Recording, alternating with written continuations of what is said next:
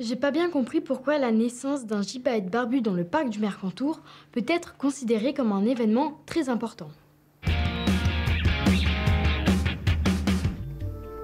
Un événement rarissime, filmé ici dans le parc du Mercantour, un gypaéton barbu dans son nid.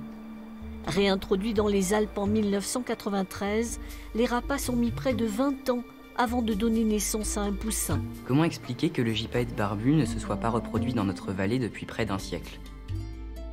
Pour répondre aux collégiens de Saint-Étienne de Tinée, nous avons invité Hervé Brosius, garde-moniteur au parc du Mercantour.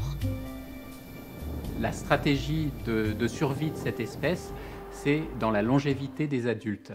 Il faut qu'ils attendent 6 à 7 ans avant de pouvoir se reproduire. La reproduction, euh, généralement, on considère qu'elle euh, euh, elle aboutit donc une année sur deux. Et il y a un seul jeune à l'envol après, donc ça explique déjà sa rareté. Pourquoi le gypaète barbu est une espèce rare, donc protégée? Et comment expliquer sa présence quasi exclusive dans le parc du Mercantour? Au 19e siècle, c'est une espèce qui a été exterminée par l'homme. Alors soit par peur, soit par ignorance ou par bêtise tout simplement. Il ne subsistait que dans les Pyrénées, en Corse et en Crète, en tout cas sur le pourtour méditerranéen.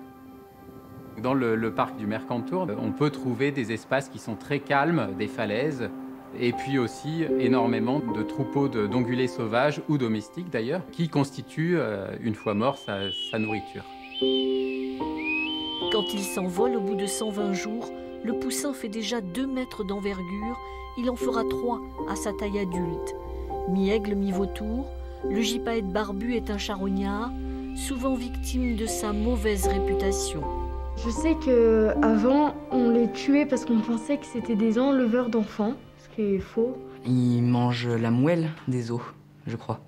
Exclusivement ça. Et ils les lâchent de très haut pour euh, les casser. Dans quelle mesure le réchauffement climatique influence les cycles de développement et de reproduction des gypaètes barbus? Gypaète barbu se reproduit en plein cœur de l'hiver. Donc les jeunes vont naître à la fin de l'hiver et, donc au moment de la fonte de, la neige.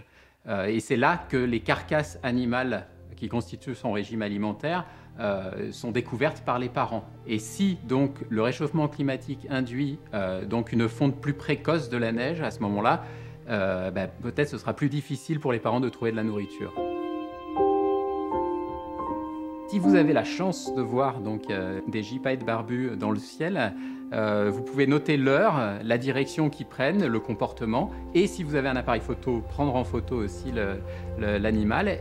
Nous rapporter toutes ces informations à la maison du parc, par exemple. Ça permet de mieux connaître l'espèce et de pouvoir contribuer à son suivi.